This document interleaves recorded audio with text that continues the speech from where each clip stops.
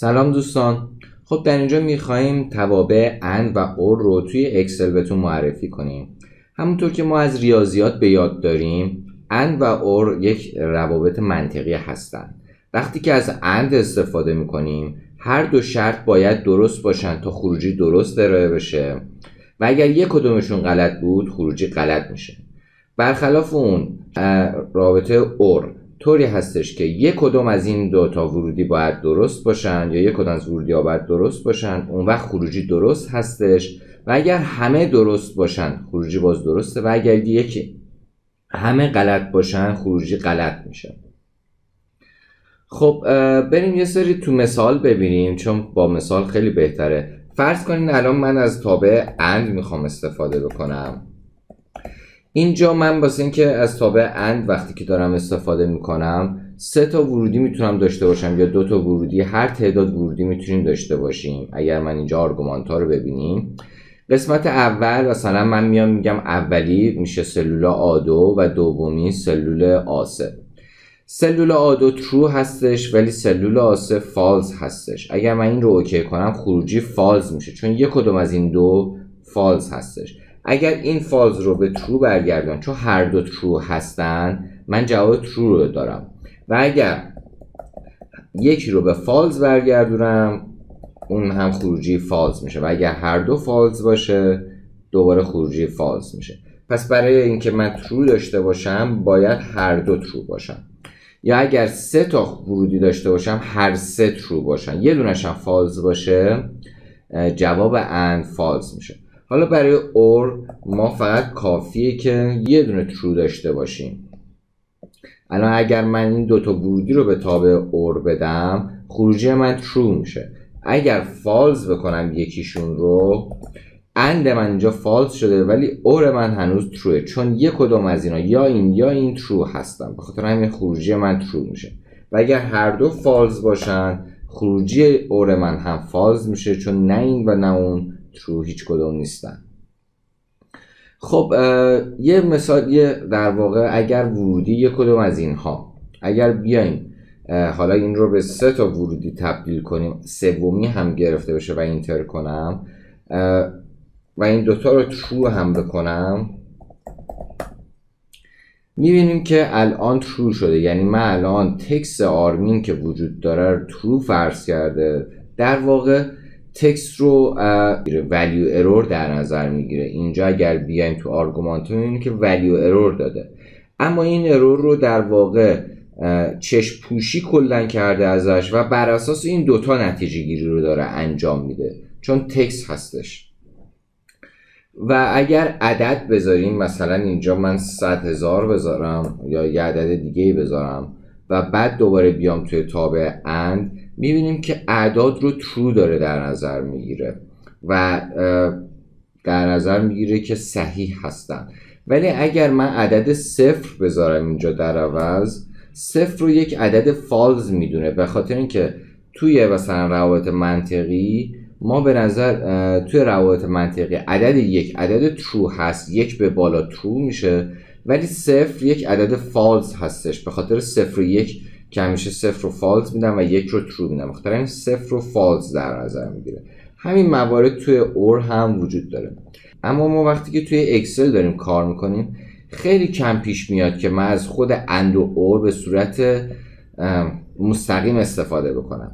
بیشتر استفاده من تو زمانی هستش که من دارم از IF استفاده می‌کنم. وقتی که تابع IF رو می‌خوام استفاده بکنم از AND یا OR خیلی استفاده خواهم کردش.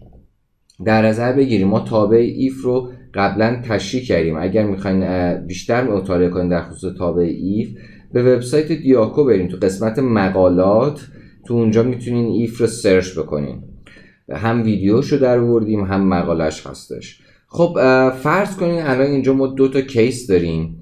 تو حالت اول گفته اگر سطح موجودی کمتر از ده یا پیش بینی تقاضا بیشتر از پنج بود سفارش مجدد صادر بشه. یعنی اینجا اگه من سطح موجودیم کمتر از ده بشه و پیش بینی تقاضای من بیشتر از پنج باشه یعنی پیش بینی کنم که تقاضام هم زیاده اون وقت باید سفارش مجدد بذارم. در غیر این صورت نیازی نیستش. خب اینجا الان واسه اولی من سفارش مجدد زدم چون سطح موجودی من کمتر از ده هست. ولی پیش بینی تقاضای من بیشتر از پنج نیستش. چون یا هستش اینجا اور استفاده کردیم. اومدیم گفتیم اگر یا این J2 من که پیش بینی من بزرگتر از پنج باشه یا K2 کوچکتر از ده باشه سفارش مجدد بزن. در غیر این صورت کافیه. الان چون یا زدم این قسمت درسته چون K2 کوچکتر از ده هستش. اما این یکی درست نیستش. در نهایت چون اور هست ترو برمیگردونه من و سفارش مجدد می‌زنیم. تو حالت بعدی توی اینجا اینجا که سفارش مجدد باز دوباره فقط این ترو هستش. این غلط هستش. توی اینجا که سفارش مجدد زدیم اینجا دیگه دوتاش بزرگتر برقراره. هم این کوچیکتر از ده هستش هم پیش بینی تقاضای من بیشتر از پنج هستش. با خاطر همین سفارش مجدد مونده. اما توی اینجا که کافی هستش نه این تروه چون کمتر از پنجه نه این یکی چون بزرگتر از ده هستش. پس سطح موجودی کافیه. توی حالت دوم من از اند استفاده کردم. چرا؟ گفته چون اگر سطح موجودی کمتر از ده بود و همچنین در واقع و اختلاف بین پیشبینی تقاضا و سطح موجودی بیشتر از صفر بود آنگاه سفارش مجدد بزن. یعنی اول بیا ببین اگر این کمتر از ده بود و اختلاف بین این یعنی پیشبینی تقاضا. منهای سطح موجودی بیشتر از صفر بود یعنی اینکه من تقاضا تقاضایی که تو بازار وجود داره بیشتر از موجودی که تو انبار دارم بودش. اون وقت سفارش مجدد بزن. خب میایم تو این حالت. از اند استفاده کردیم. گفتیم اگر K2 کوچکتر از ده بود توی این حالت و در عین حال چون اند آوردیم J2 منهای K2 بزرگتر از صفر بود اون وقت سفارش مجدد الان در حال حاضر K2 کوچکتر از ده هست. این تروه این یکی اولی. اما دومی چون دو منهای چهار منفی هستش و بزرگتر از صفر نیستش false هست و در نتیجه کلا false میاد و کافی بیرون میاد. چرا false هستش؟ چون الان میگه آقا ما چهار تا داریم. تقاضا هم دو تا هستش. نیازی نیست دوباره سفارش مجدد در واقع بزنیم. توی حالت بعدی که کافی هست باز هم بیایید نگاه کنیم. درسته که این زیر ده هستش اما باز پیش بینی تقاضا من یه دونه هست. خب من دو تا هم تو موجودی دارم به خاطر نیازی نیست که دوباره سفارش بدم. توی اینجا که سفارش مجدد به دست اومده اگر نگاه بکنیم K6 کوچکتر از ده هست. پس این true ه. اختلاف این دوتا یعنی چهار منهای دو هم بزرگتر از صفر. یعنی پیش بینی می‌کنم. تقاضای من چهار تا هست که از سطح موجودی الان من بیشتره. پس لازمه که سفارش مجدد بزنم. خب اینجا در واقع AND و به ما کمک کردن که از IF ای تو در تو استفاده نکنیم چون با IF تو در تو هم می‌تونستیم اینا رو بنویسیم. و اینکه خیلی راحتتر می‌تونیم از منطقمون استفاده کنیم و جملات منطقیمون رو به فرمول تبدیل کنیم.